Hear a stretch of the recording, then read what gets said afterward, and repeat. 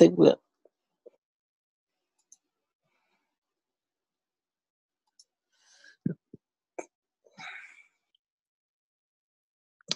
Yeah, I think we're on um Lord Dunmore's war.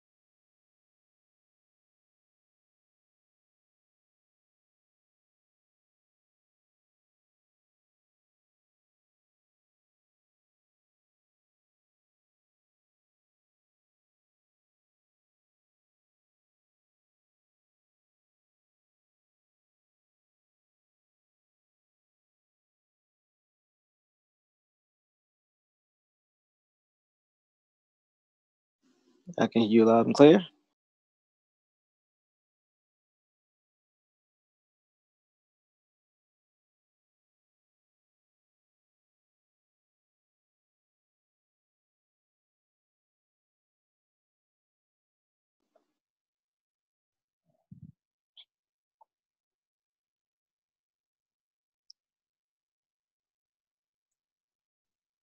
Some situations it wouldn't be right if something won't go wrong.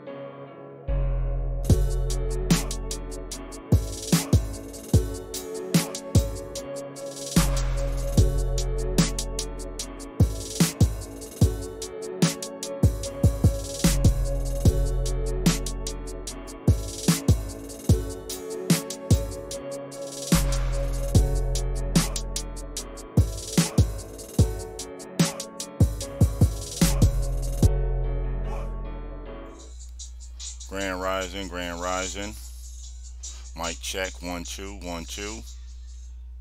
All right, I think that fixed it there. If y'all can hear us out there in the chat, press one for me, please. Just making sure we got the audio correct it's rising.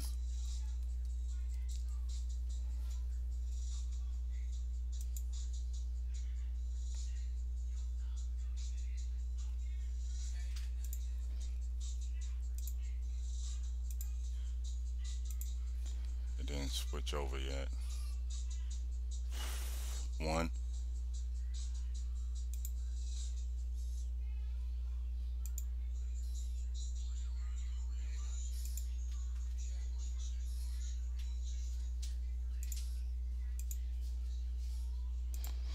All right, we good to go. We good to go.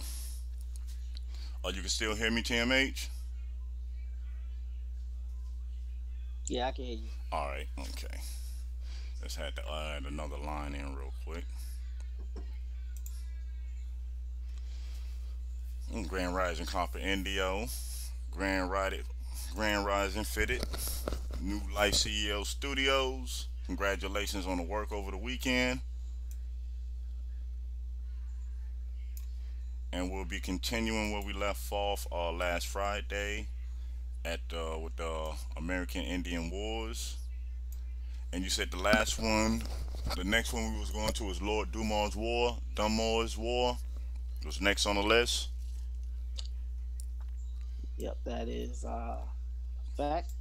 Um, before we get into all that, I definitely want to uh, send a shout out to Miss Pamela Hall and Miss Danielle Jeffers for the spotlight they did over the weekend. Peace, For those of you peace. who did not get a chance to check it out, um, please do so.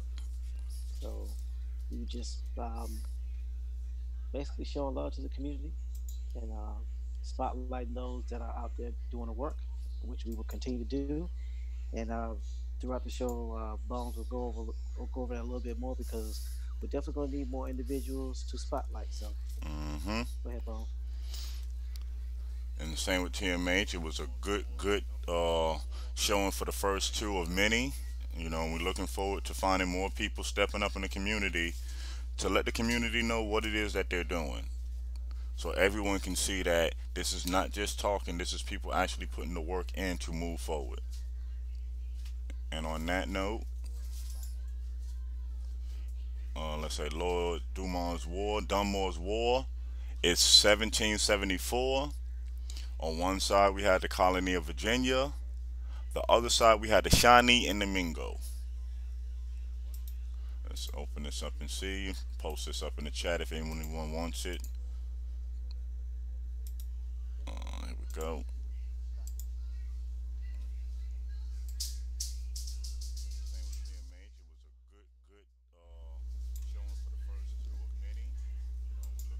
Where's this other one coming from?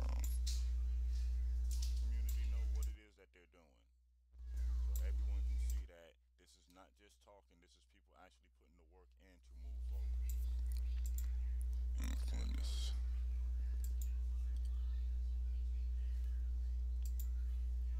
Oh, it's loading up now. They say Lord's Dunmar's War. Or Dunmore's War, Dunmore's War was a 1774 conflict between the colony of Virginia and the Shawnee and Mingo American nations. The governor of Virginia during the conflict was John Murray, 4th Earl of Dunmore. Lord Dunmore, he asked the Virginia House of Burgesses to declare a state of war with the hostile Indian nations and ordered up an elite volunteer militia force for the campaign. It states the conflict resulted from escalating violence between British colonists who, in accordance with previous treaties, were exploring and moving into land south of the Ohio River, modern West Virginia, southwestern Pennsylvania, and Kentucky, and American Indians who had treaty rights to hunt there. As a result of successive attacks by Indian hunting and war bands upon the settlers, war was declared. To pacify the hostile Indian war bands, the war ended soon after Virginia's victory in the Battle of Point Pleasant on October 10, 1774. As a result of this victory, the Indians lost the right to hunt in the area and agreed to recognize the Ohio River as the boundary between Indian lands and the British colonies. Although the Indian national chieftains signed the treaty, conflict within the Indian nation soon broke out. Some tribesmen felt the treaty sold out their claims and opposed it, and others believed that another war would mean only further losses of territory to the more powerful British colonies. When war broke out between the colonies and the British government in 1776, the war parties of the Indian nations quickly gained power. They mobilized the various Indian nations to attack the colonists during the Revolutionary War. Hmm. So You caught that too?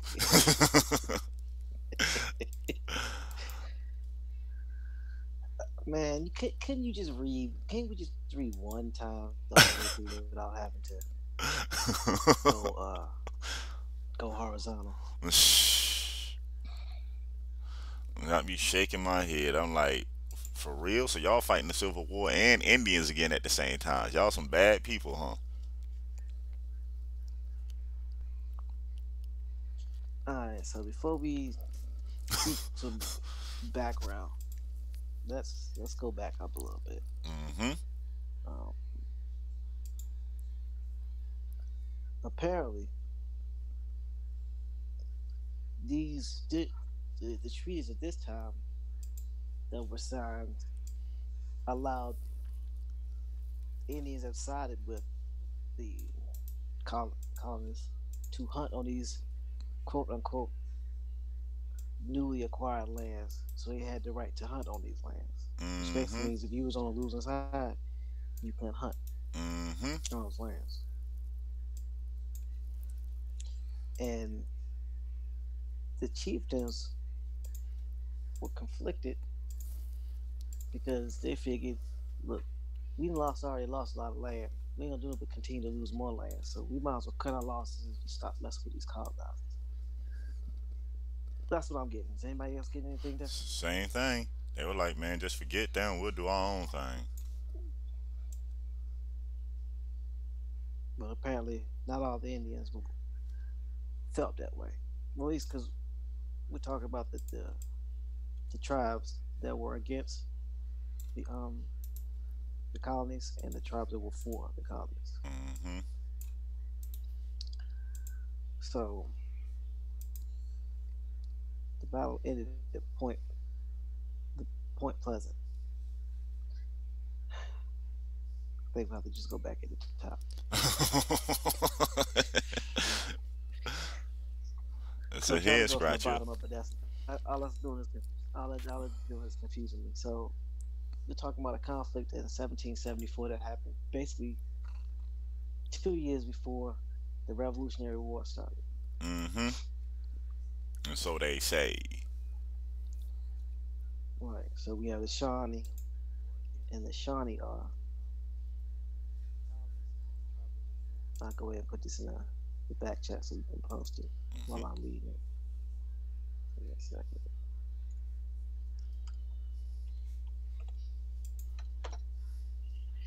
Okay. The Shawnee. This article is about the Native American tribe of the UCC Shawnee disambiguation. The Shawnee, or the Shawanwaki, are an Algonquin speaking ethnic group indigenous to North America. In colonial times, they were a semi migratory Native American nation, primarily inhabiting areas of the Ohio Valley, extending from what became Ohio and Kentucky eastward to West Virginia, Virginia, Pennsylvania, and Western Maryland, south to Alabama and South Carolina, and westward to Indiana and Illinois. Pushed west by European American pressure, the Shawnee migrated to Missouri and Kansas in the 1830s. Some were removed from the upper Midwest to Indian Territory, now Oklahoma. So they got so some of them got pushed to Oklahoma too. Mm-hmm. says only some, so there must have been another divide. With the was west of the splitting. Mississippi River. Uh, TMH, they wanted to know if you can uh speak up a little bit. They said you got kind of low. Okay, I'm gonna see if I can turn my headphones up. Give me a second. Okay. I got my headphones turned up as loud as they can go. Um, and I'm plugged in to my headphones, so I'm not on my. Um, Well, I can fix it on my end, adjust it on my end real quick. okay. All right. So, um, it says they were pushed by European American pressure. The Shawnee migrated to Missouri and Kentucky in 1830s. Some were removed from the upper Midwest to Indiana Territory, Indian Territory, now Oklahoma, west of the Mississippi River. Other Shawnee did not remove to Oklahoma until after the Civil War. Mm. Made up different historical and kinship groups today, there are three federally recognized Shawnee tribes, all headquartered in Oklahoma. The Absentee Shawnee, the Tribe of Indians of Oklahoma, Eastern Shawnee, Tribe of Oklahoma, and Shawnee Tribe. Okay. Do you remember hearing about these tribes? Being federally recognized? Okay.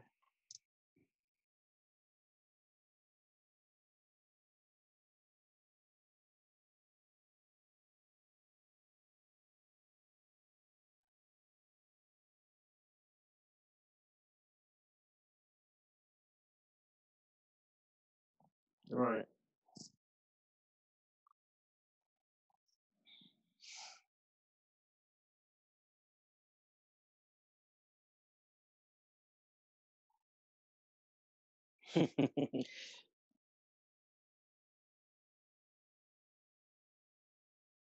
Appears to be.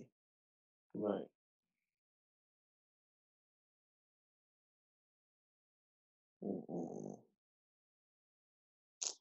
So that gives us a little bit about the Shawnee. I'm trying to scroll down. So let's go into what they call prehistory. Further information. Some scholars believe the Shawnee are descendants of the people of the pre-contact fourth fort ancient culture of the Ohio region, although this is not universally accepted. Fort ancient culture flourished from 1000 to 1650 CE among a people who predominantly inhabited lands on both sides of the Ohio River in areas of present day southern Ohio, northern Kentucky, and western West Virginia. They were mound builders. Fort ancient culture was once thought to have been an extension of the Mississippian culture, but scholars now believe Fort ancient culture developed independently and was descended from the Hopewell culture, also a mound builder people. Uncertainty surrounds the fate of the Fort ancient people, most likely their society, like the Mississippian culture to the south, was severely disrupted by waves of epidemics from new infectious diseases carried by the first Spanish explorers in the 16th century. After 1525 at Madisonville, the type site, the villages, houses, house sizes became smaller and fewer, with evidence showing that people changed from their previously horticulture-centered sedimentary way of life. There is a gap in the archaeological record between the most recent Fort Ancient sites and the older sites of the Shawnee. The later were recorded by European, French, and English archaeologists as occupying this area at the time of encounter. Scholars generally accept that similarities in material culture and material culture, art, mythology, and Shawnee oral history linking them to Fort Ancient peoples can be used to support the connection from Fort Ancient society and development as a historical uh, Shawnee society. The Shawnee traditionally considered the Lenape or Delaware of the East Coast Mid Atlantic region, who were also Algonquin speaking, as their grandfathers. The Algonquin nations of present day Canada regarded the U.S. Shawnee as their southernmost branch. Along the East Coast, the Algonquin speaking tribes were mostly located in coastal areas from Quebec to the Carolinas. Algonquin languages have a, sim- have a word similar to the archaic Shawano or Shawanawa, meaning south. However, the stem Sawa does not mean south in Shawnee, but moderate warm or weather. I'll see Voegelin. Moderate warm, CP Sawani. It is moderating. In, in one Shawnee tale, Sawaj or Sawaki is a deity of the south wind. a certain languages Sawaj as it thaws, referring to the warm weather of the south.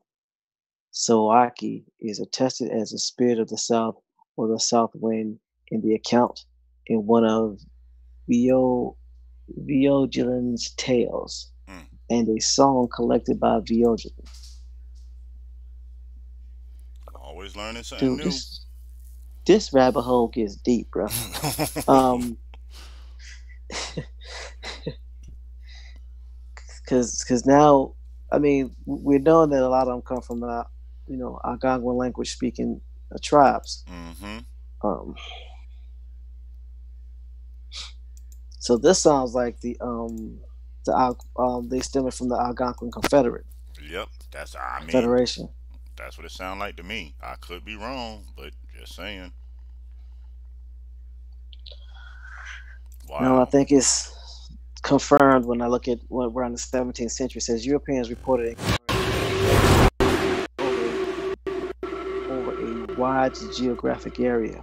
One of the earliest mentions of the Shawnee may be at 1614 Dutch map showing some Salwani, Salwani located over east of the Delaware River. Later 17th century Dutch sources also placed them in the general location. Accounts by French explorers in the same century usually locate the, uh, the Shawnee along the Ohio River, where the French encountered them on forays from western Canada to the Illinois, Illinois country. A Shawnee town might have might have from 40 to 100 bark covered houses similar in construction to the Iroquois longhouses. Each village usually had a meeting house or council house, perhaps 60 to 90 feet long, where public deliberations took place. Hmm, I guess it goes that uh, theory about the teepees and wigwams again, huh? According to one English legend, some Shawnees uh, were just descendants from the from a party sent by Chief Api Kanao. Hold on. Api Kankanao, ruler of the Powhatan Confederacy. Wow. From 1618 to 1644 to settle in Shenandoah Valley. The party was led by his son, Shawani, Edward Bland, an explorer who, uh, who accompanied Abraham Wood's expedition in 1650, wrote the Apicakanos Day. There had been a falling out between the Shawan chief and the Wirowants of the Powhatans. Wirowants of the Powhatans. Also a relative of the Opikakov family he said that he said the latter had murdered the former. Okay, there goes that one. The Shawnee were driven from Kentucky into the in the seventh in the 1670s by the Iroquois of the Peninsula and New York, who claimed the Ohio Valley as hunting ground to supply its fur trade. Okay, so we in the 1670s, and they they they they heavily in the fur trade. Mm-hmm. The colonists battles and fallen on the Falam in 1671 reported that the Shawnee were contesting control of the Shenandoah Valley with uh, Haudenosaunee Confederacy, the Iroquois. Okay, there they go again. Mm-hmm. In that year, and we're losing. Sometime before 1670, a group of Shawnee migrated to the Savannah River area. The English based in Charlestown, South Carolina, were, contact, were contacted by the by the Shoshone in 1674 Okay, so let me read that again. Mm-hmm. Please do. Sometime before 1670, a group of Shawnee migrated to the Savannah River area. Now, take this with a grain of salt, mm-hmm. but there's got to be there's there's some truth in every lie. the English based in Charlestown, South Carolina, were contacted by these Shawnee in 1674. They forged a long-lasting alliance. The Savannah River Shawnee were known to the Carolina English as Savannah Indians around the same time. The Shawnee groups migrated to Florida, Maryland, Pennsylvania, and other regions south and east of Ohio country. Uh, hmm, Shawnee went all the way down to Florida? Looks that way. But see, that's what I was saying before. When they be coming up with these new confederations, why it'll throw you because ain't nobody staying on one spot. You couldn't have been up north called this, moved west, then they called you this, came back south, you being called this.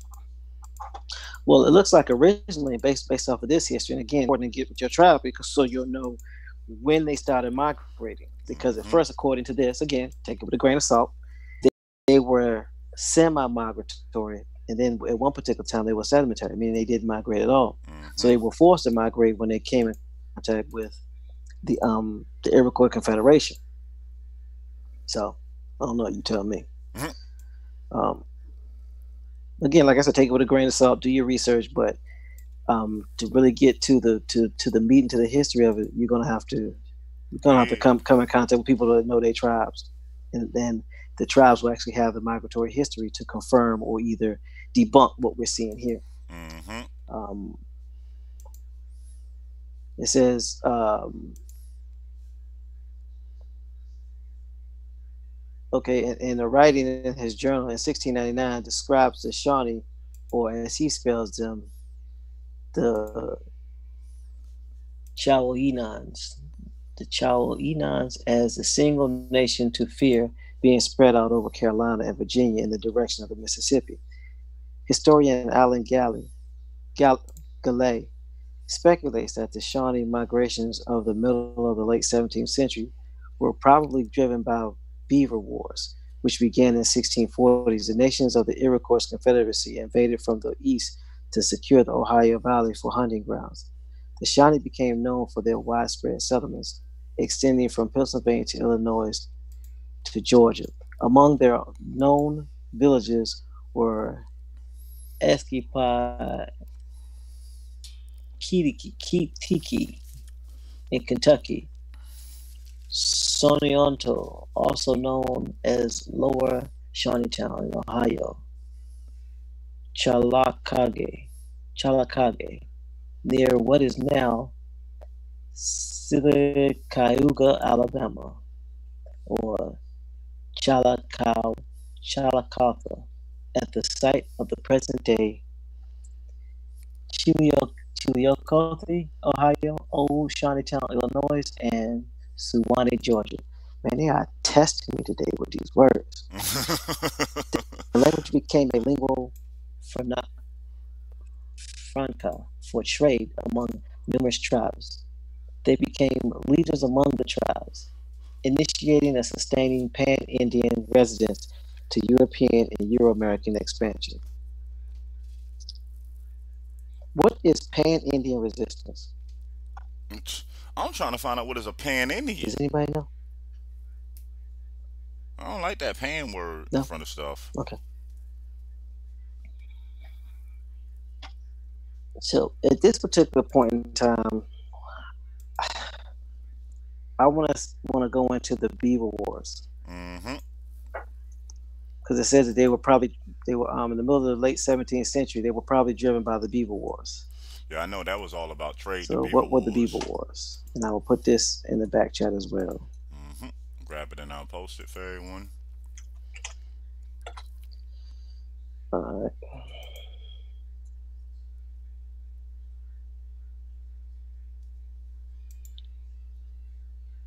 All right, so the Beaver Wars.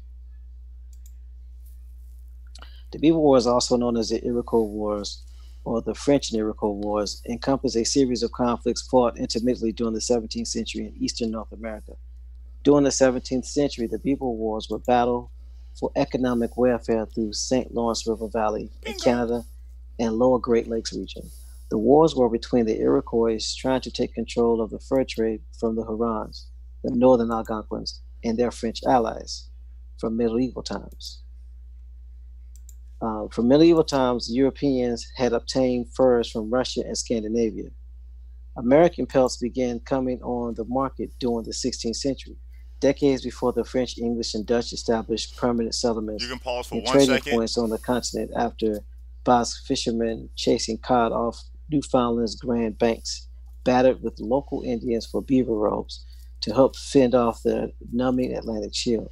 By virtue of their location, these tribes wielded considerable influence in European Indian, considerably influenced in European Indian relations with the early 17th century onwards. Hmm. So, what they're saying is, 16th century, these Indians were taking furs across the water, huh? Because I want to know, ain't nobody across the water know what they had to sell a trade. Don't nobody know what you got to sell a trade unless you tell them what you got, right? Yeah. And that's normally how stores work. You go to the store and they tell you what they got or show you what they got to sell. All right, I'm, mm-hmm. I'm just working on the timeline here. That's it. Making sure I ain't losing it. Fur trade. So we're talking about as early as the 16, as early as the 1600s there were there was established fur trade. Not just any fur trade, an established one at that. So this was so this this war, this beaver war was an economic war. Yeah, like people always say. Mm-hmm. Money, money, money, money.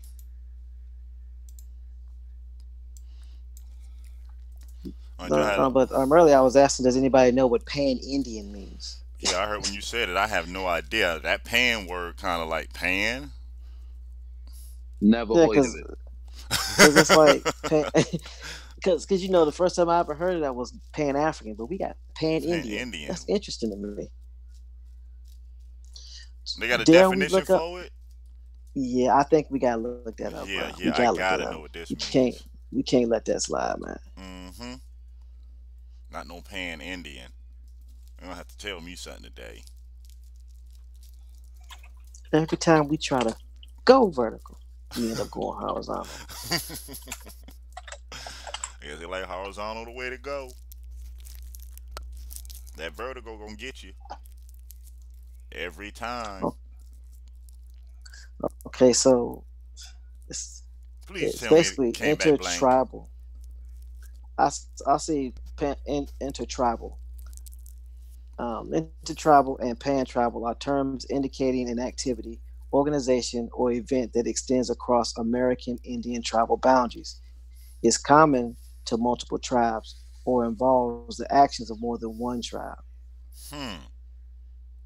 So basically, what they saying pan Indian is Indians making decisions that affect multiple Indians over a broad area.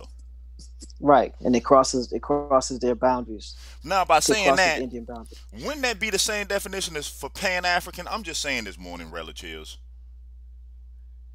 If that's the definition of Pan Indian, wouldn't a Pan African had the same definition? You would just tie it to the African stuff that they're spreading.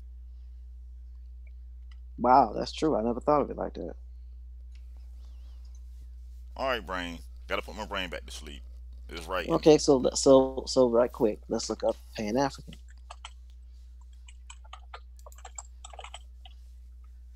Like, mm mm mm mm mm, ain't that done?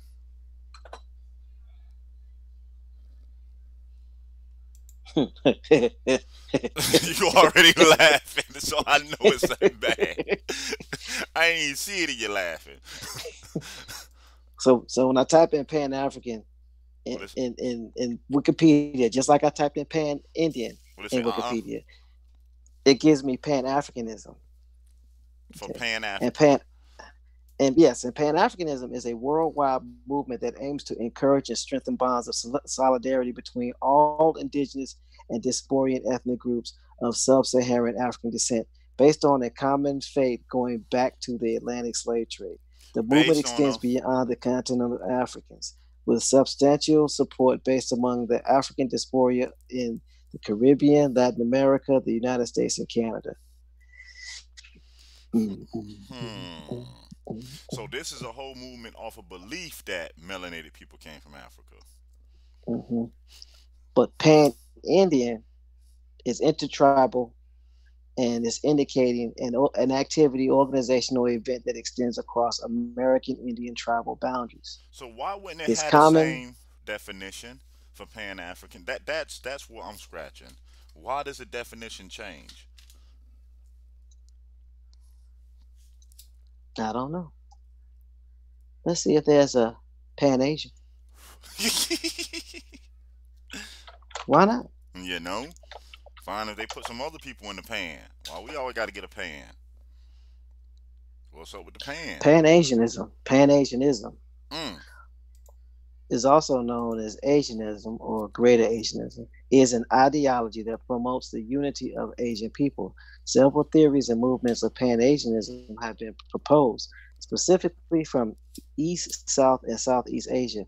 Motivating the movement has been resistance to Western imperialism and colonialism, and the belief that Asian values should take precedence over European values. During the Cold War, the movement became less vigorous as nations in the region aligned with one of one with one or the other of superior powers. So you have Japanese. I mean, you have Pan Asianism. You have African Asianism. I mean, you have you have Pan Asianism. You have Pan Africanism, and you have Pan Indian. But, but only, yeah, but only two of them have ism behind them. Yeah. And then it's kind of funny is that the Pan Asian it's an ideology, but the Pan Africanism mm-hmm. must be a belief.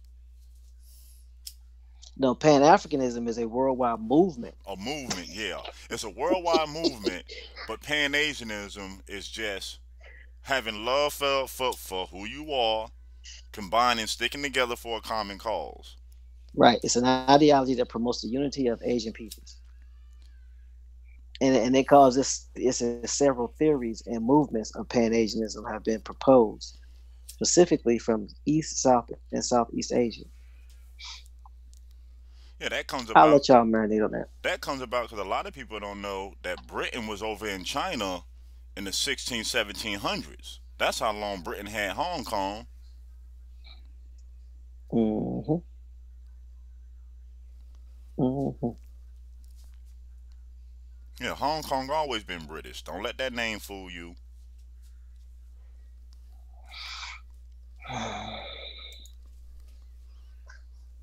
So, what does the chat have to say about that?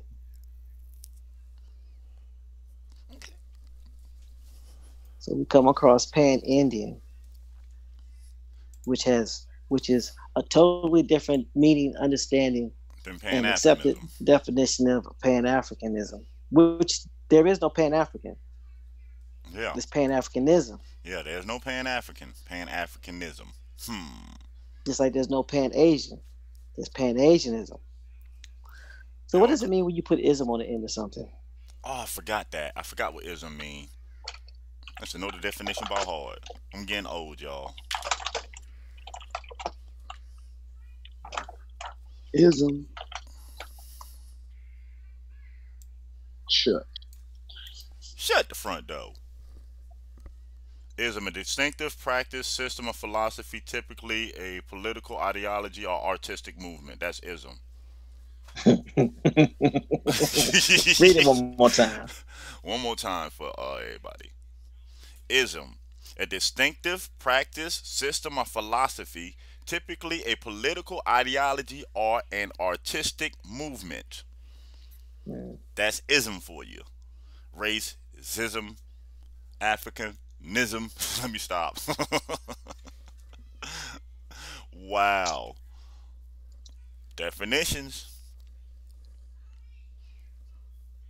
So Pan Indian means intertribal. Yep. Okay. I don't know. Uh, y'all go ahead and do some research on that Pan African versus Pan Asian versus Pan Indian. Just something to think about. So let's go back to what we was Oh, I got one for you. We forgot Pan American.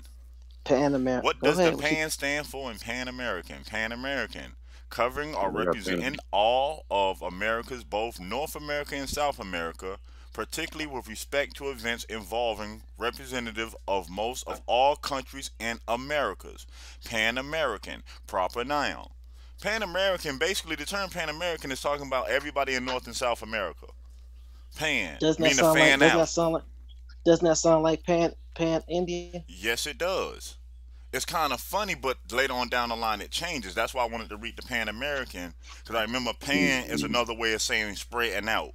Pan covering everything, to pan out, to cover all. Pan American meaning it's covering all of North and South America. See, they be switching these definitions and words. I haven't been out that long, man. Hmm. I remember so Pan Americans, Pan Indians, just like new the new Americans. No Indians, old Indians, new Americans. Pan Indian is just basically about the term itself. Yeah. No, they old. They've been around, but it covers a Pan Indian covers all the Indians in a particular area that's affected by rules and laws. Pan American is everybody that's in North and South America is a Pan American. You're Pan in America. If you get that definition of Pan, Pan meaning the spraying out, meaning the fan over. Like if you was in the military, pan to the left, pan to the right. Facts. Well, one is talking about a people, and the other one is talking about a continent. Yep. Hmm. So, so why not? Why is African? Why is Pan African not talking about a continent? It's talking about a worldwide movement. Mm-hmm. And we all know about Pan, an ancient Greek religion and mythology. Pan, ancient Greek, is the god of wild mm-hmm. shepherds and flocks, nature, nature of mountain wilds, rustic music, and in protest and companion of the nymphs. He has the hind quarter legs and horns of a goat in the same manner as a faun. Well, we know about that pan. And here's another thing. Okay, so what is it me again? Correct me if I'm wrong, but is it me or does it sound like they're trying to they tried to put, replace Pangea with Pan African? Hmm. Pan African is the new Pangea. Don't let them fool you. Pangea states that everything was connected together, meaning that everybody came from one thing and the land broke up and that's how we got separated. Pan African states everything came from Africa and everybody migrated. It's the same theory. And I'm going to say the key word theory. Somebody educated guess. That has not been proven yet. It's just backed up by some. Can somebody please tell me how long a theory get to remain a theory before it becomes untrue? I, I just yeah, who holding on still? You know, because some of these theories been around since 15th, 16th century. So, where where is the cutoff to where theory, if it's not proven, just that's get buried? Just my theory. That's just that's just my theory. not proven yet. How many hundreds of years some of these theories been around? And we ain't got nobody smart enough to say, okay, this is not this is not gonna work. I just want to just, I mean, because it struck me strange that they had Pan Indian.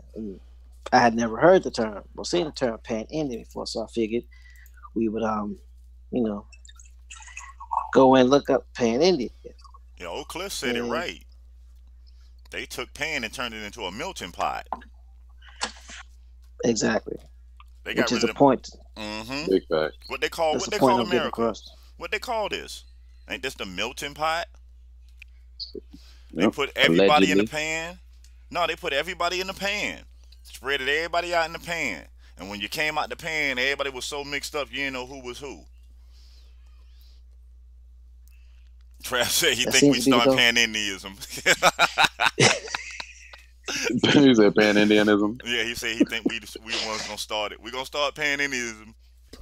Trav, don't do that, bro. Don't do that. Don't do that, bro. Because you know, you know, people, you know, people are looking for debates. Yeah, yeah. looking for debates. It'd be the Pan yep, Indians versus the Pan Africans versus the Pan Aboriginals. No, let's not do that. Man, Listen, don't have us get no phone calls I don't and emails. Be pan. Why can't I be a crock pot? Yeah, I know, right? Slow cook. low and slow. Give me this low and slow. Take your time. Skillet. So now we know basically what happened to the the Shawnee. Mm-hmm. They were. It, it, appears that they were dr- they were driven away by the um the, the Iroquois Confederation. So let's let's let's look at the Mingo. We talked about the Mingo Indian before, right? Yeah. Mm-hmm. We can bring it back up because you know we probably have yeah. some new listeners that didn't hear about them. Yeah. so the Mingo, I'll go ahead and put that link in the back chat. Excuse me. Mm, uh, Post it. Yeah, all the links to the uh, stories and the sources are, are constantly being posted up in YouTube. So if you want them, uh, you can click on them and download them for yourself. So you can always have them in your collection to read. And also and, check out the source. And for those of you who are just now tuning in, we are at Lord Dunmore's War, which happened in 1774, two years before said Revolutionary, Revolutionary War, yeah. or, or the the Declaration of um, Independence. Okay, so Mingo. The Mingo people are an Iroquois speaking group of Native Americans made up of peoples who migrated west to the Ohio country in the mid 18th century, primarily Seneca, Cayuga, Anglo America. Whoa, whoa, whoa, whoa. Primarily Seneca and Cayuga, period. Anglo Americans called these migrants Mingos a corruption of Migo? Mingwe. I'm just saying. Ming, I know, right? A corruption of Mingwe, Eastern Algonquin name for Iroquois language groups in general. Mingos have also been called Ohio Iroquois and Ohio Seneca. Most were forced to move to Indian Territory in early 1830s under Indian removal program. At the turn of the 20th century, they lost control of communal lands when property was allocated to individual households in a government assimilation effort related to the Dawes Act and extinguishing Indian claims to prepare for admission of Oklahoma as a state. In 1930s, Mingo descendants reorganized as a tribe and were re- reorganized in 1937 by the federal government as the Seneca Cayuga tribe of Oklahoma. So the Dawes Act, they, just basically took these people's land and reallocated it to individuals, households, and government assimilation it. Because remember, according to the Dawes Act, they actually were able to allocate land and also give my immigrants who paid five dollars per family member to get on this road, and these family members that paid five dollars to go on these roads were also given land. Mm-hmm.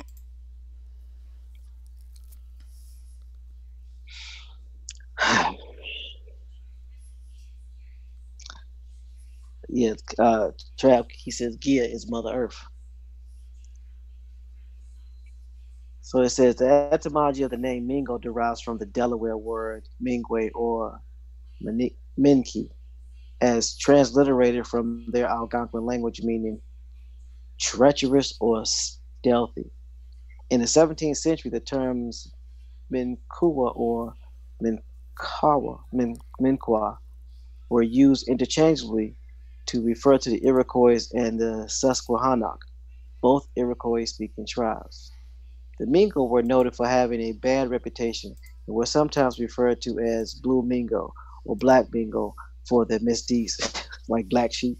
Mm-hmm. The people who became known as Mingo migrated to the Ohio country in the mid uh, 18th century, part of a movement of various Native American tribes away from European pressure to a region that had been sparsely populated for decades but controlled as a hunting ground by the Iroquois.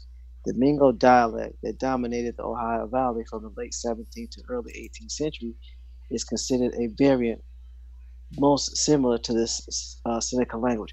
So it seems like these Iroquois tribes were, were controlling the lands because a lot of them seem to be involved in fur trade. So they would be tribes that would be more concerned with territory, mm-hmm. meaning who could hunt. And the reason why is because they wanted they needed these furs. And they were yeah, and they, they were, were also heavy, they were heavily entrenched with the French, trading with the French with the furs and fabrics.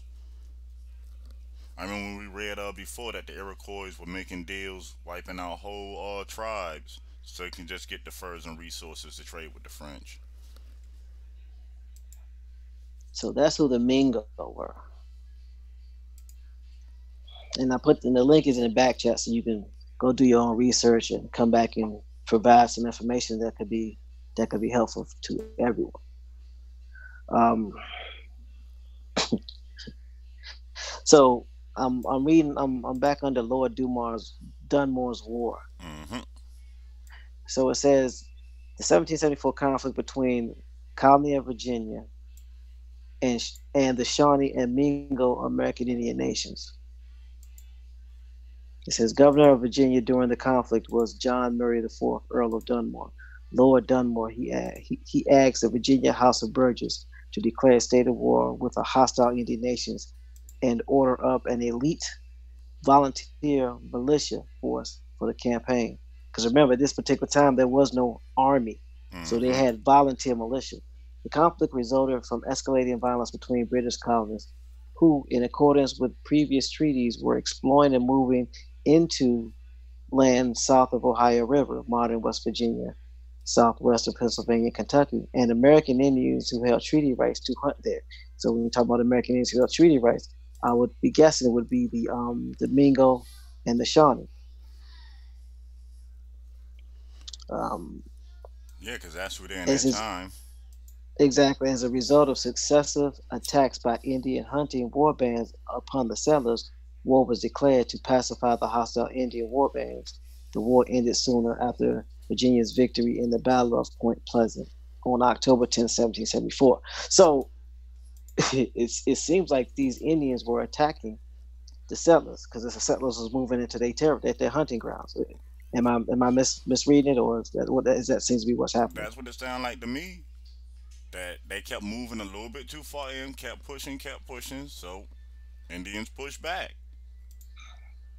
So let's look at the Battle of Mount Pleasant, shall we? Excuse me, the Battle of Point Pleasant. Again, when we're doing this history, you just can't go north and south. You're gonna go you're gonna go east and west a lot. Yes. The Battle of Point Pleasant Pleasant, known as the Battle of Kanawha in some older accounts, was the only major action of Dunmore's war. What? hold on, hold on. Was it was again? fought on October 10, 1774, primarily between Virginia militia and Indians from the Shawnee and Mingo tribes along the Ohio River near modern Point Pleasant, West Virginia. Indians under Shawnee Chief Cornstalk attacked Virginia militia under Colonel Andrew Lewis, hoping to halt Lewis's advance into the Ohio Valley. After a long and furious battle, Cornstalk retreated. After the battle, the Virginians, along with the second force led by Lord Dunmore, the royal governor of Virginia, marched into Ohio Valley and compelled Cornstalk to agree to a treaty ending the war. So apparently, this must have been a smaller tribe. Mm-hmm. But when you read the writing, um, they so, wasn't so winning. the preparations. It says Colonel Andrew Lewis, in command of about 1,000 men, was part of a planned two-pronged Virginia invasion of Ohio Valley. So we said when they talk about a two-pronged attack, they're point from two points. So it's not all 1,000 people attacking one spot. So you, are probably looking at 500 attacking from one side and 500 attacking from another yeah. side, depending on the location or, or the or the space. Box or some man. derivative of right. Yeah, box. So as man. Lewis as Lewis's forces made its way down the Kanawha River, guided by pioneer hunter trapper Matthew uh, Ar- Arbuckle Sr., Lewis anticipated linking up with another force commanded by by Lord Dunmore, Dunmore, who was marching west from Fort Pitt, when known as then known as Fort Dunmore. Dunmore's plan was to march into Ohio Valley and force the Indians to accept Ohio River boundary which had been negotiated with the Iroquois in the in the 1768 Treaty of Fort Stanwix. Where did this treaty come from? The Shawnees, however, had not been consulted in the treaty, so they, they feel like we felt right now. The Shawnees, however, had not been consulted in the treaty, and many were not willing to surrender their land south of Ohio River without a fight. So this deal was made between the Iroquois nation and they didn't let the Shawnee know. Yeah, I got it right here. The Treaty of Fort Stanwix was a treaty between Haudenosaunee and Great Britain, signed in 1768 at Fort Stanwix in present-day Rome, New York. It was negotiated between Sir William Johnson, his deputy George Croghan, and representatives of the Six Nations, the Iroquois. The treaty established a line of property following the Ohio River that ceded the Kentucky portion of the colony of Virginia to the British, as well as most of what is now West Virginia. The treaty also settled land claims between the Six Nations and the Penn family. The lands thereby acquired by the British in Pennsylvania were known as the New Purchase. Says the treaty. The purpose of the conference was to adjust the boundary line between Indian lands and British colonial settlements, set forth in the Royal Proclamation of 1763. The British government hoped the new boundary line might bring an end to the rampant frontier violence which had become costly and troublesome. Indians hoped a new permanent line might hold back British colonial expansion. The final treaty was signed on November 5th with one signatory for each of the six nations, and in the presence of representatives from the colonies of New Jersey, Virginia, and Pennsylvania, as well as Johnson. The Native American nations present received gifts and cash totaling $10,460 in today's time, uh, 70 pieces of silver, what's that? 3d sterling the highest payment ever made from colonists to american indians. The treaty established a line of property which extended the earlier proclamation line of the alleghenies the divide between the Ohio and coastal watersheds. Much further to the west, the line ran near, ran near Fort Pitt and followed the Ohio River as far as the Tennessee River, effectively ceding the Kentucky portion of the colony of Virginia to the British. As well as most of what is now West Virginia, the British had recently confirmed the land south of west of the Kiowa to the Cherokee by the Treaty of Hard Labor, Dang. During the Fort Stanwix proceedings, the British were astonished to learn that the Six Nations still maintained a normal claim over much of Kentucky, which they wanted to be added into the consideration. In addition, the Shawnee did not agree to this treaty, contesting colonial Virginian settlements between the Alleghenies and Ohio until the 1774 Treaty of Camp Charlotte. Basically, from reading this treaty, the Iroquois were going around here selling people land that they didn't have no rights to sell. That's what I was about to say. That's what I was thinking. Because it's like you're hearing that these Shawnee and Mingo were getting pushed off their land. They kept having to migrate. So what's happened is the Six Nations are moving these people off the land well, actually, it sounds like they're signing these treaties as if it was their land, and then they basically just go ahead and move move the Shawnees off. So they sell the land that don't belong to them. Mm-hmm. Pay it right on the head. Nothing new up under the sun. They making deals, selling your homeland. Then these people ride in telling you, oh well, this our land now. The Iroquois uh sold this to us. You got to go take that up with them. And they're like, well, that's a treaty between you and them, and they ain't got nothing to do with us. Well, I don't want to so hear that. Move. You need to take that up with them. A lot of these wars would make sense now. Then it would make sense why the Iroquois were always with the French and British rioting and then jumping on other tribes. You running people off and getting paid.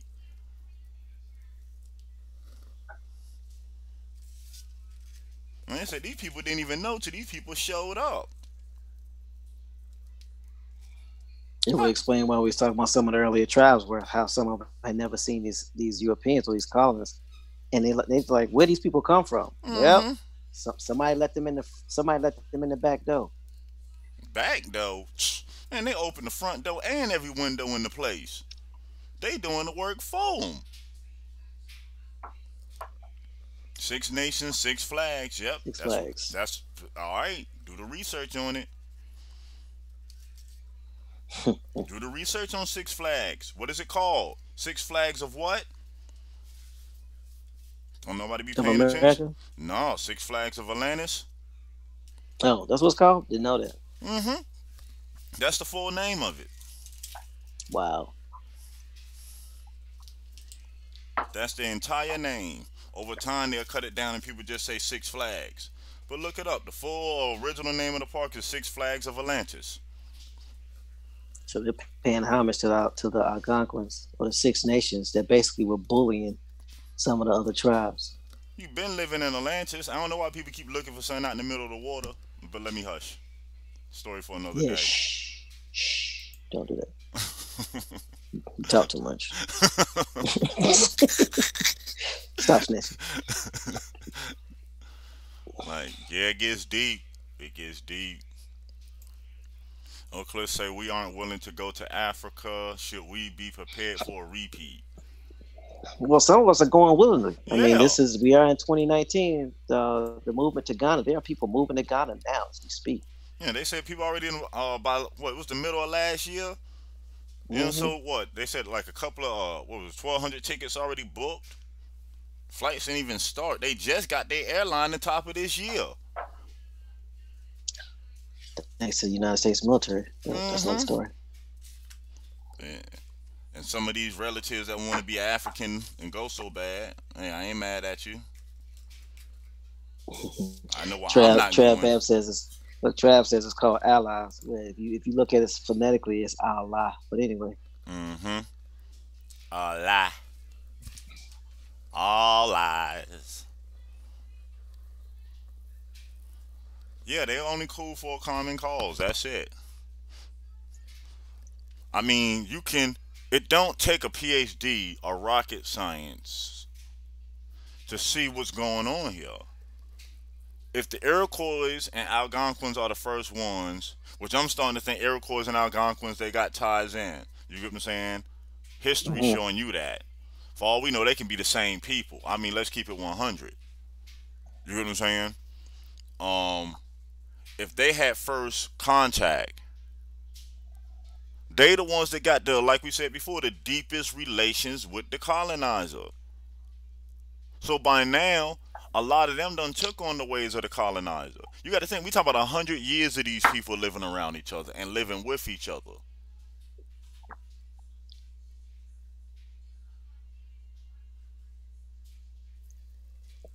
You gotta remember, with this is this is this is just Virginia colony. We're not even Mhm. talking about the, the at least hundred year established history prior to that with with Europe, with the European, with other European countries, Yeah. um, like France and Spain. Mm-hmm. Remember, Virginia colony, the Virginia, Britain came last out of Yep. the three. Britain was last. Mm-hmm. Well, at this time it was England, or it just became Britain. So they were last. To to So- the peep you on to something. The name Iroquois itself. What language is that? Isn't that French? Mm-hmm. Oh, okay. So that mean they would have to have dealings with the French, and the, that's the name that the French placed on them, right? That would stand to reason. Oh, okay. Just checking. So they could have been anybody else before the French got here. That's true. Oh, all right. I just wanted to check. You know, just throwing some stuff out there in the air. Get some Well, they, no, they refer to them, yeah, because they refer to themselves as longhouses. Mm-hmm. Or somebody referred to them as longhouses. Somebody, yeah. More than likely another tribe. Mm-hmm.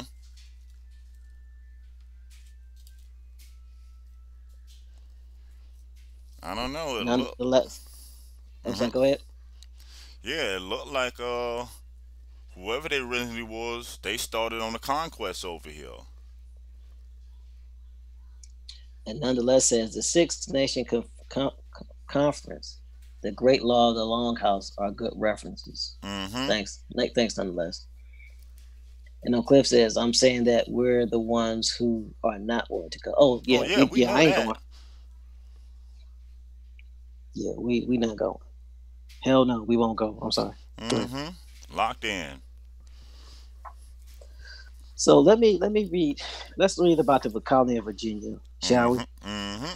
Let's dig. Because that that's the only that's the opposing side. Okay, Mm-hmm. opposing side to our peoples. The colony of Virginia, chartered in 1606 and settled in 1607, was the first enduring English colony in North America. Like again, they're they're already they're basically 200 years behind. Following failed proprietary attempts at settlements of Newfoundland by Sir Humphrey Gilbert in 1583, and the subsequent further south Roanoke Island, modern eastern North Carolina, by Sir Walter Raleigh in the late 1580s. The founder of the new colony was the Virginia Company with the first two settlements in Jamestown on the north bank of James River and Popham Colony on the Kennebec, Kennebec River in modern day Maine, both in 1607. The Popham Colony quickly fell due to, due to a famine, disease, and conflict with local Native American tribes in the first two years. See, this is this is this was our version of Thanksgiving. Mm-hmm. We ain't helped them do nothing. Not only not only did we kick them when they was down, they starved. We didn't feed them, and then we killed them. Anyway, You know. Jamestown occupied land belonging to the Powhatan Confederacy and was also at the brink of failure before the arrival of a new group of settlers and supplies by ship in 1610. Tobacco became Virginia's first profitable export, the production of which had a significant impact on society and settlement patterns. So, so let's so let's look at this. Tobacco became Virginia's first profitable export the production of which had a significant impact on the society and settlement patterns. So let's go. We gotta go. We gotta go uh, horizontal again. Jamestown occupied land. They occupied land belonging to the Powhatan Confederacy. You can't occupy land unless you are allowed to. Mhm. Considering the Powhatan Confederacy, remember who the Powhatan Confederacy are. Yep. these weren't a small tribe of Indians. The Powhatan people, sometimes Powhatans also called Powhatan, are an indigenous group traditionally from Virginia. In some instances, the Powhatan may refer to one of the leaders of the people. This is most commonly the case in historical writings by the English. The Powhatans have also been known as Virginia Algonquins, Virginia Algonquins, as the Powhatan language is an Eastern Algonquin language, also known as Virginia Algonquin, or a dialect. It is estimated that there were about 14,000 to 21,000 Powhatan people in eastern Virginia when the English colonized Jamestown in 1607. So think about this. They got here in 1606 and colonized in 1607. You Mhm. got anywhere between 14,000 to 21,000 Powhatan Indians. How many people can how many people can a colony bring over at one time? what 20 at this 20 think about it, them boats not as big as you want to think they are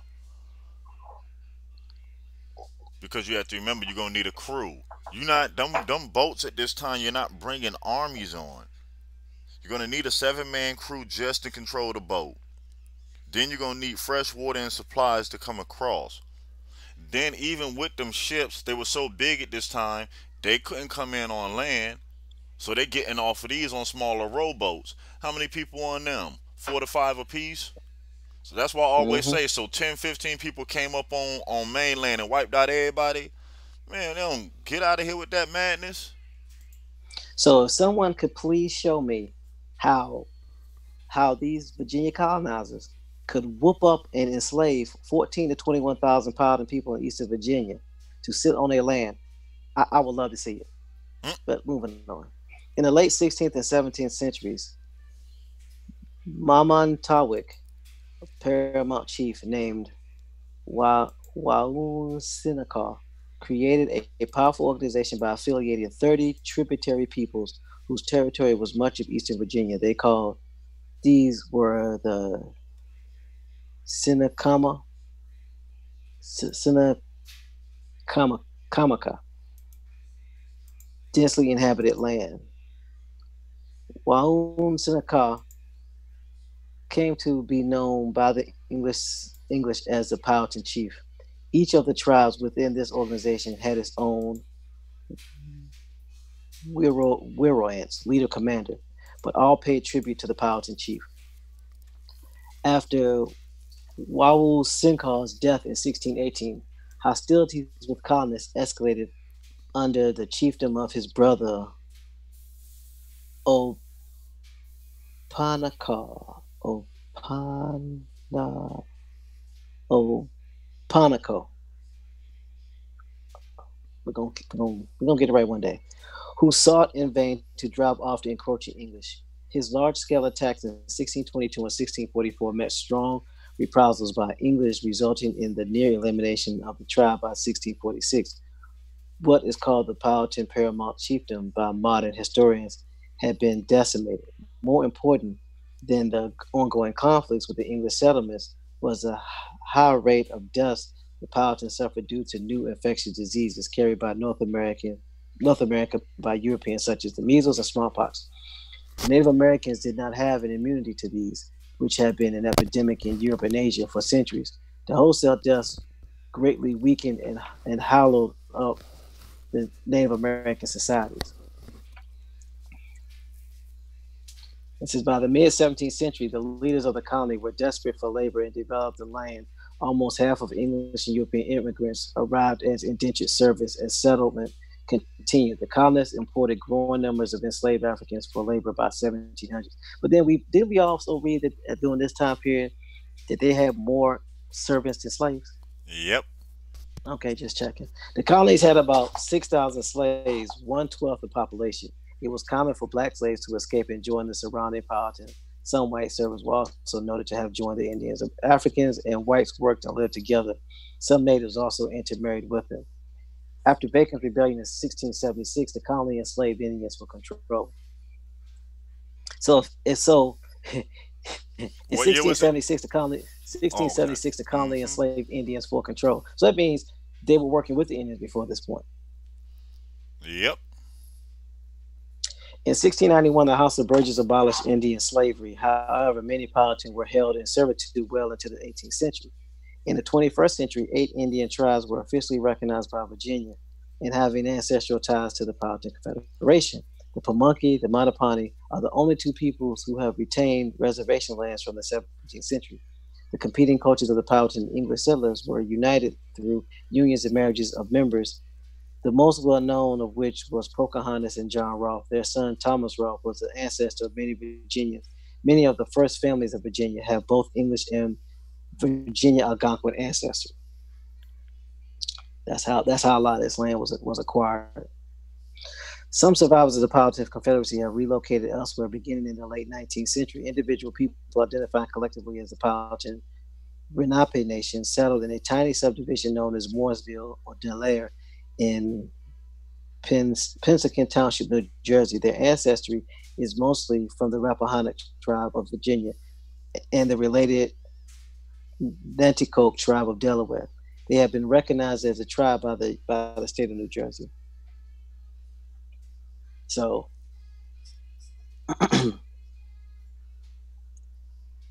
questions, comments, criticisms?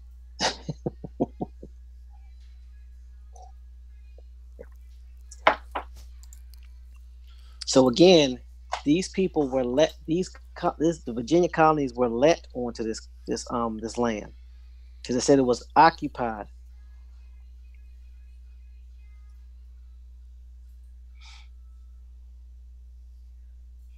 It was occupied by the Powhatan, belonging to occupied and a land belonging to Powhatan Confederacy.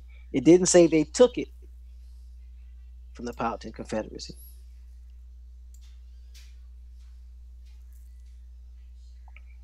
So they were in on this.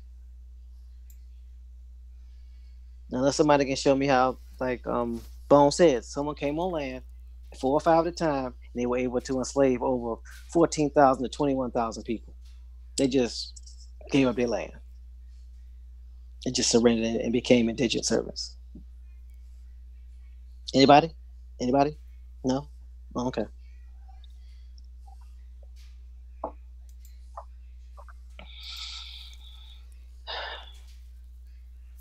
So that was basically Lord Dunmore's War, Colony of Virginia, Shawnee versus the Mingo. And what it appears to me, and that's why we put the links in the back chat. I mean, in the links in the chat, so y'all can do your own research and come up with information that can either support or give us more clarity on what happened. And then for those of you who are tied into your tribes, if you are tied to any of these tribes, maybe they have some information that could, that could help solidify or clarify the information that has been brought out. But it appears to me that the Shawnee and the Mingo were sold out by the Six Nations or the Iroquois Confederacy because mm-hmm. there was a treaty signed between them and the colony of Virginia. And then these settlers started coming on these these Mingo and Shawnee land, and they're like, "Yo, what y'all doing?" Well, we got a treaty with we got a treaty with Six Nations. Iroquois Confederacy, y'all gotta move. That mentality is this has nothing to do with us, and this is our land. Y'all treaty is with them. They stuff don't belong over here. Mm-hmm. So then they called in the muscle, the Iroquois Confederacy. They made them leave. Does anybody see anything different? I mean, there's three sides to every story. See, the thing is, too, this might be throwing it out there a little bit, or a little too stretched, because my brain just just processing everything. And I remember the stories that we read uh last week about certain tribes that intermarried within other tribes and the colonists for so long that you couldn't tell them apart and didn't know you wouldn't know who was who anymore, right? Basically, at this time, the Iroquois, the only people they really can be mingling with is who? Because right, the um the European, they're, they're, they're, right? Right, they're, allies. They're allies. Cause, allies are. Yeah, because outside of that, Everybody don't nobody trust them no more. You got to think this, this is that deal that made it to the point where ain't nobody trust them point blank after this. So now, if they in power, they cool. Think about it. They're cool with the British. They're cool with the French. They're trading back and forth, intermarrying, interbreeding. How would we know what these people look like in 2019? I'm just throwing that out there.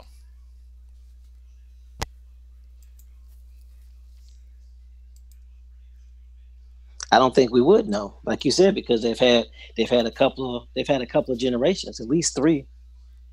We know after the uh what was it, Civil War, you don't hear the name Iroquois no more. We know they just didn't die off. I think they became citizens and started started working with the Virginia the Virginia colony or the thirteen colonies to start acquiring and accumulating land, because they spoke uh, they spoke the dialect of Algonquin, which can communicate with a lot of other tribes. It was easy. It was easy for them to start commandeering, and it sound to me it sounds like they was doing what what what Rome was doing. Mm-hmm. Coming in, taking over, intermarrying, and then going over and conquer the conquer the next bit of land. But I could be wrong. Yeah, and the reason why I throw that out there because I'm like, hold on. If the U.S. Constitution is a copy of the Iroquois Constitution, right? I don't care what you copy. I can copy your test all day long. It ain't going to help me apply it any better, is it? I'm going to still need no. somebody that's familiar with that original system. I'm going to need parts and places of this mechanism to make it work until your own can learn at a pace over time, right? It's just like if you buying a company, you buying a brand new company, you might fire the small end workers that you can easily replace, but the high end management, you ain't getting rid of them on day one until you get them to train and teach your new people to come in. Correct? That's correct. Because when when companies are sold, they maintain the CEO because he and his executive assistants or her executive assistants know how the company operates. And until they can get a good feel for how it runs until they can, come, can train and turn over the company, they stay on board in the consulting form. So Is, you're right. Isn't the U.S. a corporation with CEOs and chairmen? I'm, I'm just yep. saying. Mm-hmm. Mm, mm-mm. I just find it hard to believe that you can come to a land to where you got particular nations that's entrenched in certain places you never hear about these people being wiped out. You never hear about them going to war. Because the further and further that we come up in history, we realize they're allies. And there's never no time after that to where you read in history where they split. They just, you don't hear about them no more. And I know there's no way that these foreigners, I don't care what they read, what they seen, they couldn't put this government here, the application of it, without the original people that was running it before. Somebody had to teach them, help them, show them. It's right, because um, when they got here to the United States, they didn't know what tobacco was. So somebody had to teach them how to grow it, plant it, harvest it, and eventually trade it.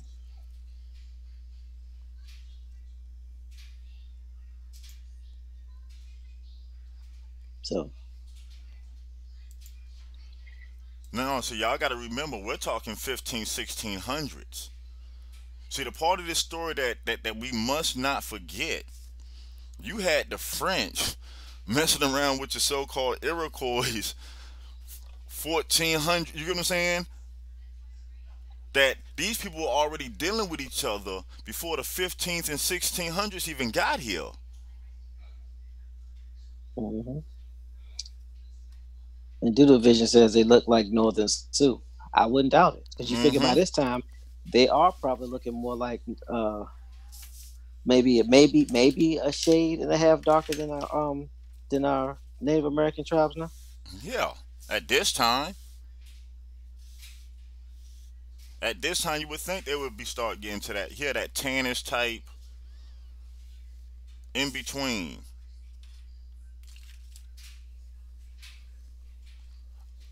By this time. Because we know this true because their stories are documented to where there's whole tribes on the west coast that ain't nothing but mulatto from top to bottom. And we talking about in the 1700s. This was uh, this is documented. Yeah, and, uh, and and Pamela Hall, shout out to Pamela Hall for the um the bill she did with us and for allowing us to be our, our first spotlight on the Conscious Assembly. She Mm-hmm. was talking about um finding Europeans in her family Mm-hmm. and how that has affected, you know, um, you know, her family ties and how it has um in some cases divided the family. So it's it's it has happened. Yes. So it's not something that's it's not something that's written in a book. It's something that people are starting to discover when they do their genealogy, which is the reason why genealogy is important.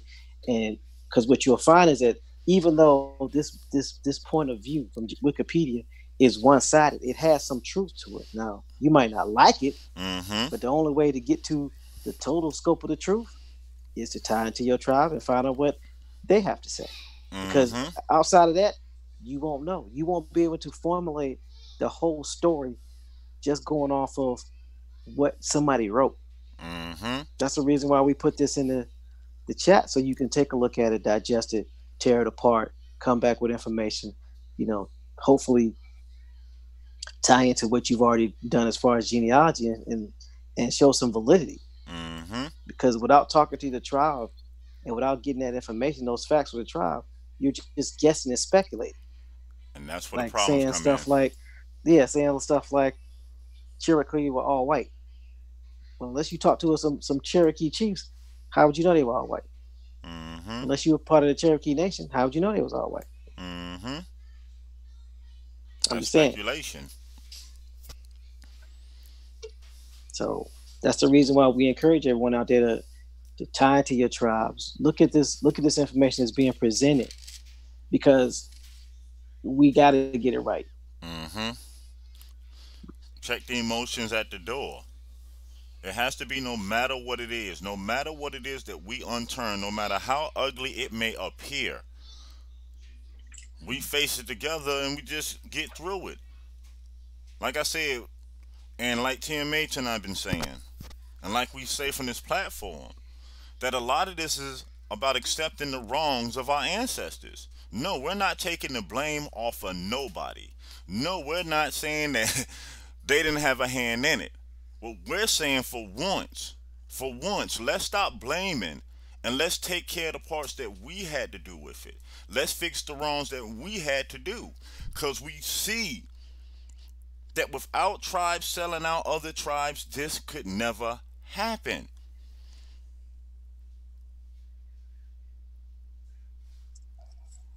That's And- facts. And wasn't nobody forcing these tribes back in the four, 13, 1400s to mingle? Show me the pistol from the 1300s. I'll wait. These people were comfortable. These people do the same thing that people do now. Yes, some people want to stick around their own. Some people are mingle. Some people want to go out. Be around different people. It's the same thing. Life as you know it has always been. And just like now in our lifetime, we are responsible for a lot of the damages that's done to our people. Same as it was then, same as it is now. We just got to stop pointing the finger and start taking responsibility for our own actions and start fixing it.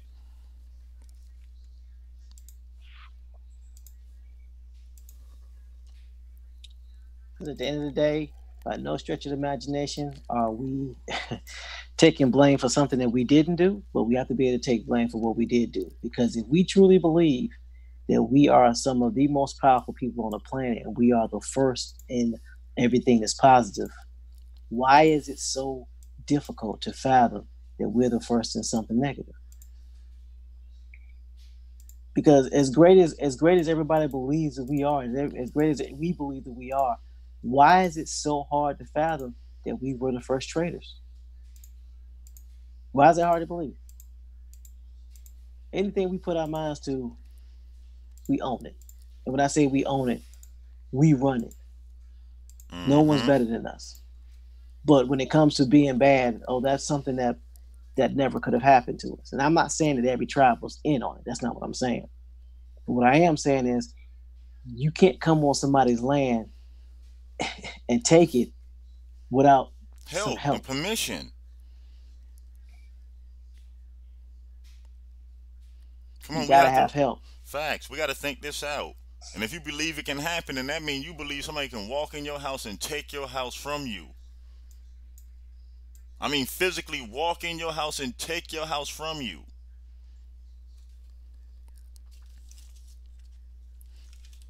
Think about it. The police can't walk in your house and put you out your house unless they got the permission of the deed holder, right? That's facts. Even if you renting something and somebody don't like you being in there paying rent there they can't do nothing about that unless the owner of the property has something to say. So come on man. Let's stop trying to paint this this this, this little fairy tale to where we so innocent. Oh why us? It was us doing it. They just followed suit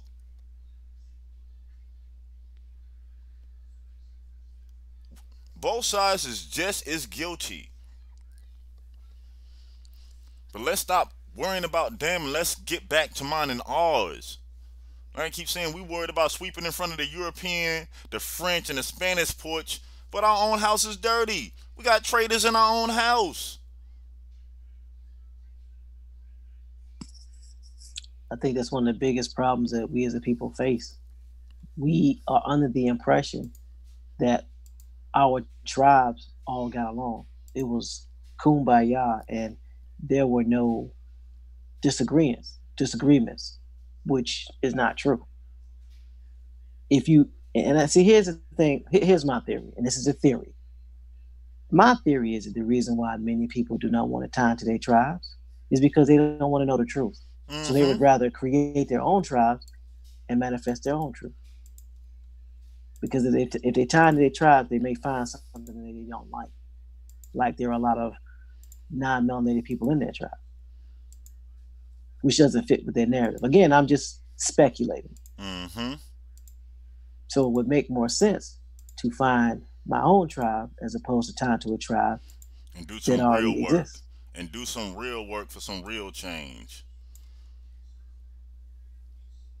But again, like I asked, if you are going to start your own tribe and put and purchase some land and put it in a trust, can you please tell me how you will reconcile being on somebody's land when their family comes back and can prove and show the deed of the land that you bought that was stolen?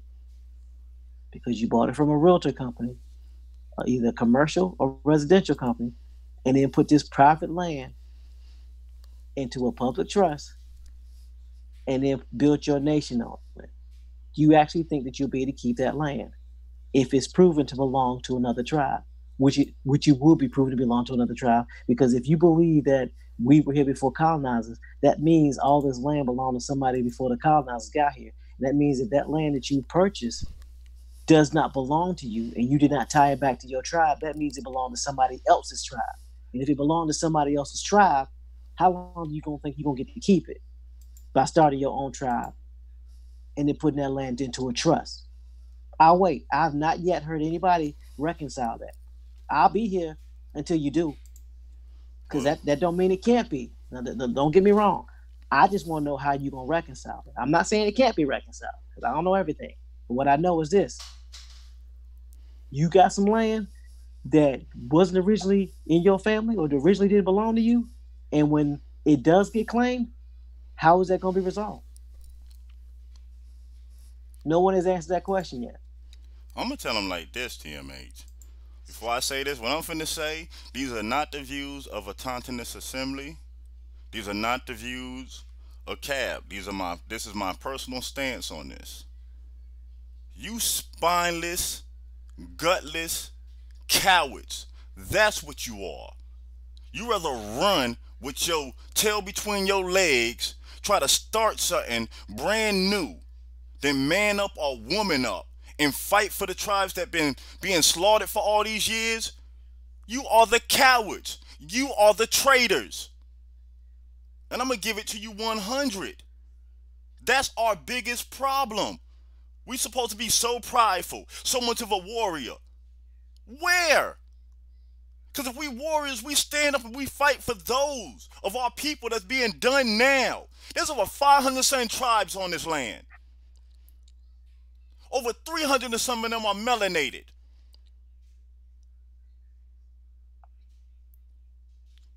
And we trying to call ourselves self-proclaimed chiefs?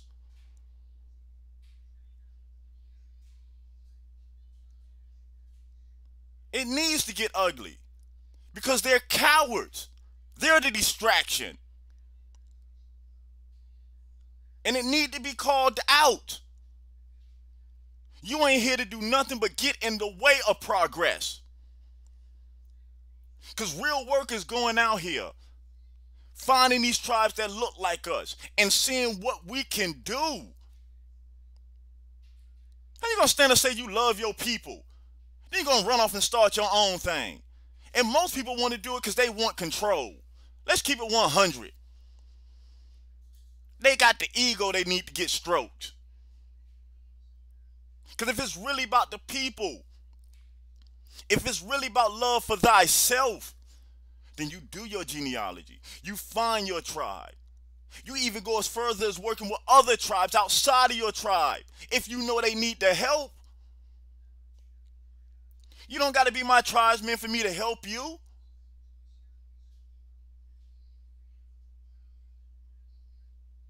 We need to start calling this mess out when we hear it and when we see it. We need to start making people accountable for their actions. Because if we keep turning the other cheek, guess what? We're just as guilty of the foolishness too.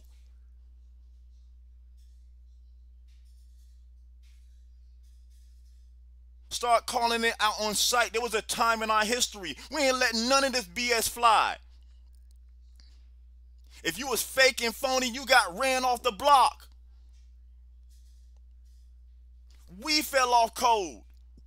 We let our own come in our neighborhood, our own come in our neighborhoods and take from us. And we keep giving them passes. We got to stop. I don't care if you look like me. If you can't hold up to your responsibility, then you can't be next to me. We must get back to this value.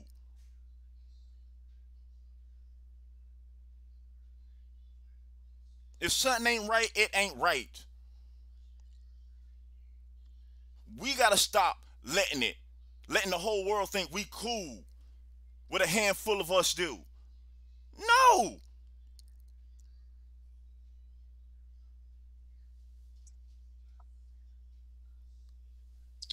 at the end of the day, I will say this. I'm going to continue to say this. And I'll wait for for for for, for proof and a response to say otherwise.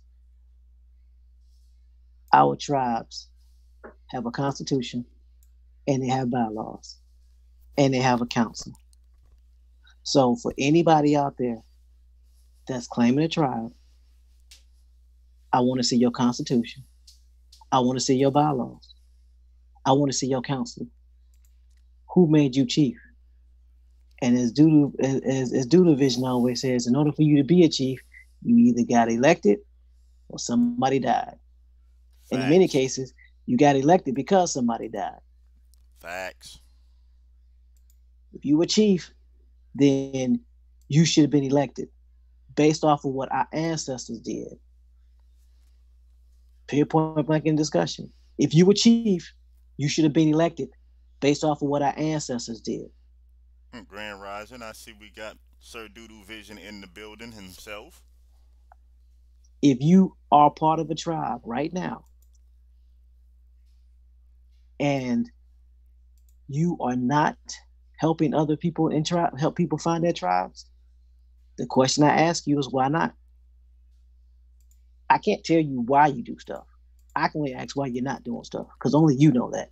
Mm-hmm. if you're part of a tribe and you are co-signing on people starting their own nation, the question I have to ask you is why. The the more important question I would ask you is, does your chief and your council sign off on that happening? My what do they say about that? My next Go ahead. is this. If you're part of a tribe, why you ain't helping your brothers and sisters get part of a tribe? See that that, that oh let me hush. Whew. You got it. I gotta calm down. I mean, this is real. I mean, it, this is this is the time where this is no time for games. It's time to put up or shut up. Exactly. And at the end of the day, a line has been drawn. And for so long, we have been acquiescent by silence, by not speaking, by not saying anything. Again, I don't know why people don't do something, why people don't say something. I can't control it, but I can't I can't control what I ask. mm-hmm. And I can say this bring your proof. If you part of a tribe, let me see your bylaws. Let me see your constitution. Let me see the council. That's public information, whether Mhm. you are registered Or not. or not. And the main If you reason, are part of go ahead, sorry, go ahead, Bob. No, no, go ahead. and the main reason we banging on it because it has to stop. These are the these are the things that's leading too many of our people astray. And I love my people too much to sit up on this platform to watch it. It's not finna go down.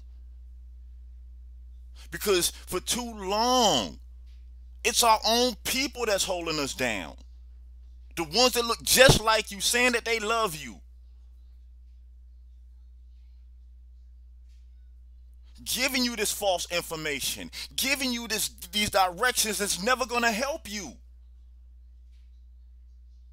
And the majority of us know it's BS. But we still go along like it's cool. So what example are we setting?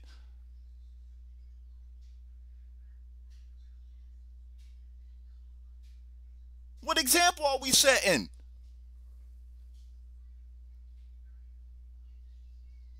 By now, the focus should be on solution, resources, helping those of our own tie back into their tribes. It should be all hands on deck. I don't care where you are. You don't have to be a part of A2. Starting your community.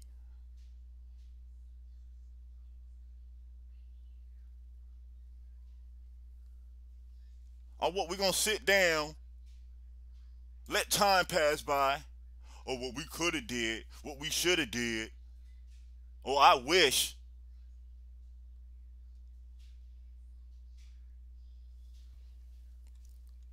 Let's don't sit up here and act like we so great and we come from this prideful, grateful warrior stock and shaking in our boots right now when it's time for action. And action not even getting physical to fight. The action is just standing up, putting yourself on notice that you're not going to accept the BS anymore from yourself or anyone else.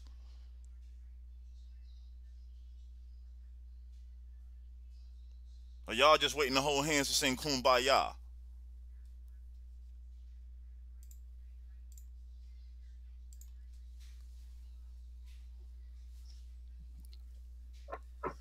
I wonder how that's gonna work.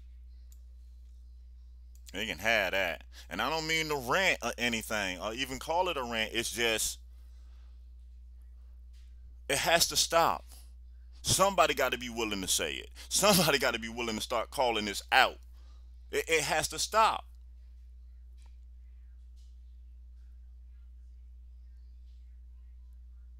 Wrong is wrong. And if you sit back and you watch somebody mislead your people down the wrong path, you the worst of the worst. Cause you know better.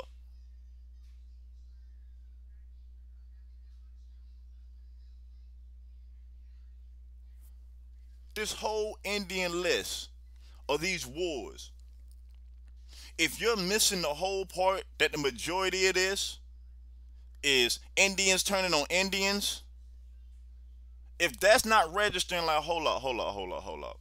This can never go down if we wasn't going through this BS amongst each other.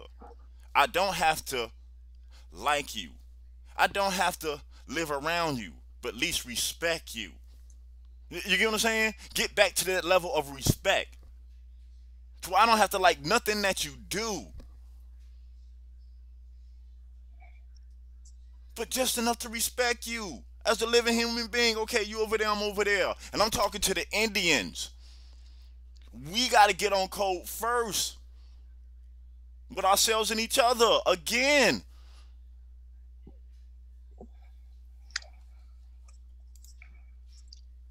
Free says, when all first things are first, all second things follow. And we got to correct our own house first. We have to be willing to accept and admit that we have we we have a hand in this, and we and we still have a hand, we still doing the same thing to this day.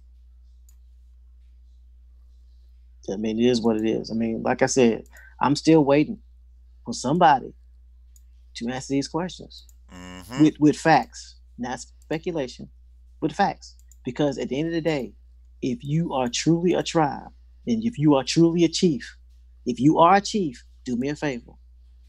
Show me your bylaws. That's it. Show me your council. That's your council it. elects a chief. Can you or or or show me the tribe that you belong to where chiefs were self-appointed? Because there may be a chief that was self-appointed. And if that's the case, and that's the tribe you belong to, obviously you, you come from that line. So obviously you can show it. Mm-hmm. There are over 500 some odd tribes. I'm sure maybe there is a tribe that has a self-appointed chief that doesn't have a council, that doesn't have bylaws, and that doesn't do the voting. I'm sure there is. I just don't know of any, but that don't mean they don't exist. Mm-hmm. So if you are part of that tribe, you should be able to, you should be able to show it. Because we already know for a fact that not all tribal history was oral it was mm-hmm. also written. Written. There's a lot. There's a lot more written history than people care to think.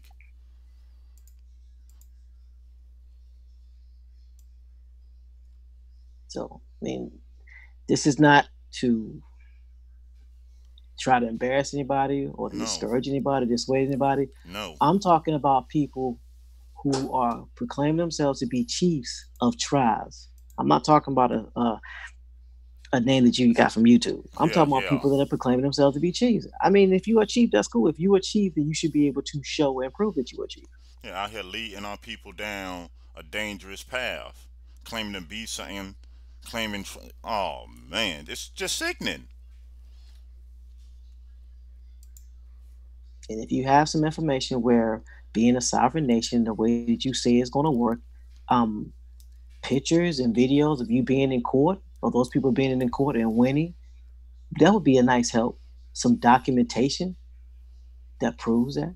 That would be some help. And if you say that you don't have, why do you have to show proof? Then I would I would challenge you to say if you got your YouTube channel and you got your phone and you didn't show proof, then show everybody how you did it. Mm-hmm.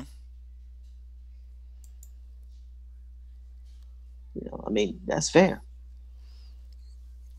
That's because you saying. can't, right? Because you can't be saying you don't need to show proof in one vein, but then in your everyday life, you got to show proof. Mm-hmm. Look at the damages. I'm just tired of seeing the damages of our relatives that that keep going for this and falling for this, and that's why I even ask of them question everything.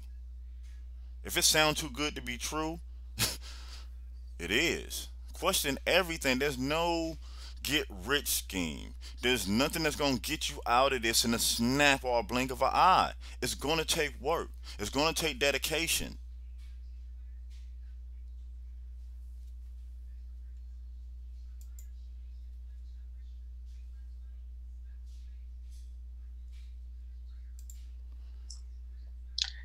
Gonna be interesting to see how this next week pans out.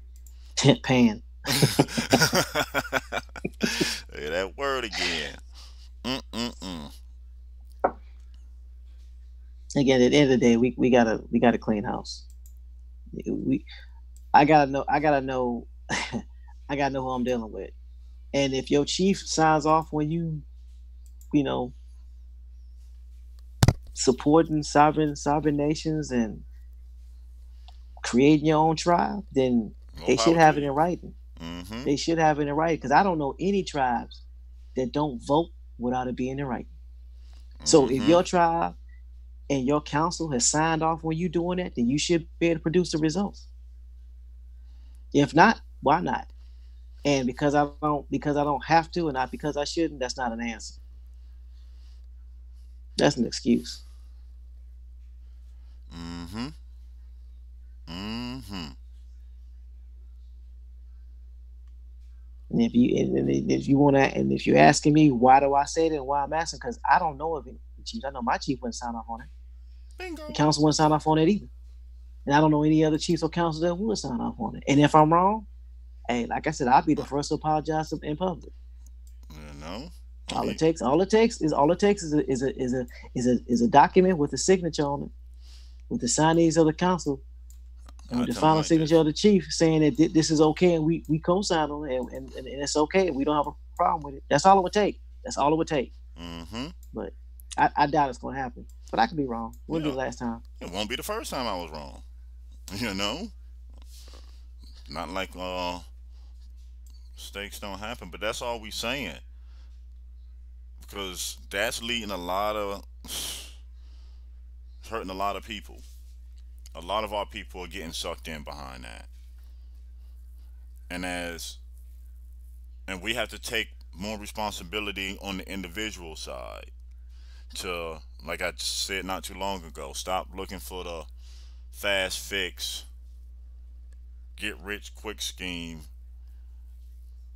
and be willing to do the work. Be willing to tie in. Be willing to start in your community. Be willing to help build your community in your neighborhood. We must be willing to start on the individual level, then the local level, then we move up. You can't you can't aim for the head. Sometimes you have to bring the head down to you. So we got to work our way up. A lot of people are just coming into the knowledge of self. So you just don't want to throw them out there to the wolves like that. No. We got to get this right. Tomorrow not guaranteed to no one. We must get this right. And for those of you who are doing the work in the community and who are reaching out and helping people, we like to hear from you. We like to to spotlight you. Or if you know someone that is doing that, let us know so we can spotlight them because what we want to do is we want to encourage that because at the end of the day, if if we're talking about being a tribe and we're talking about supporting your community, we should have proof, shouldn't we? We should have some examples of helping the community, shouldn't we? It shouldn't be something that I'm just saying and I'm not doing. You should be Mhm. able to see some proof, right? I mean, I think all cell phones have cameras and their their recording devices where you can actually speak to the person out there. Yes, sir. So the question that I'm going to ask for everybody that's on this platform that's listening is start asking the people who are who are promoting indigenous, autochthonous, American Indian, Native American. Ask them what are they doing? What are they doing in their communities? It doesn't have to be a facetious question. It could be a question out of genuine concern because Yeah. you might be able to help because you they might be in your city. We we are a lot better together, working together than we are working separately. So Mhm. if they have something going on, it needs to be promoted. It needs to be talked about. And if, and if they are not working in the community, wouldn't you want to know why not? I mean, I know I Mhm. would. All right, hold up. What's really going on? And that's and that's all we're saying again. If there's you know people in the community that's doing the work, yeah, give us give us a link. We'll be proud to uh put it out there to let the world know. Because who else is gonna set this blueprint? Who else is gonna do the work to let the youth of tomorrow know it can be done and how? what we do today, what we document today, what we do on these platforms is forever. You understand? These are the markers that we build and put together. So our children's children, children, children, children, if they ever needed to look back and documented history to learn anything, we already have it there for them. Let's not let's stop waiting for the drastic disaster to happen to make a move. Let's start putting the work in now. Let's stop playing checkers because this is chess. Let's start thinking 10, 12, 13 moves ahead instead of one at a time. Let's start being more rational in our process and less emotional in our thinking.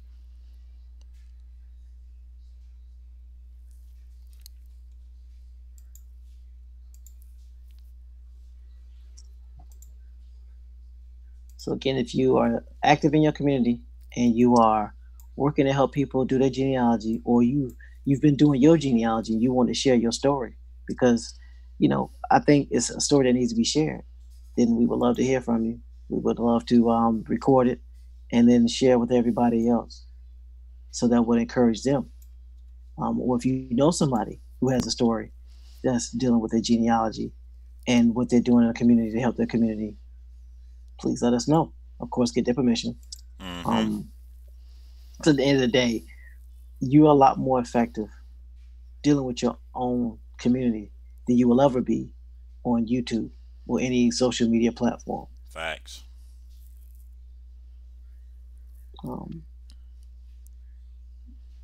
that's pretty much it. You know, get back to your get back to your family tree, do your genealogy, tie into your tribe. Mm-hmm. Once you find your tribe, let us know, and we'll help your tribe. Facts. Peace, peace, David. Peace, no Clip Tiff. Anybody else that's in the chat. Mm-hmm. And with that, I relinquish the mic. Um, I guess getting down to the closing. Any words from uh No Sellout or Doodle Vision?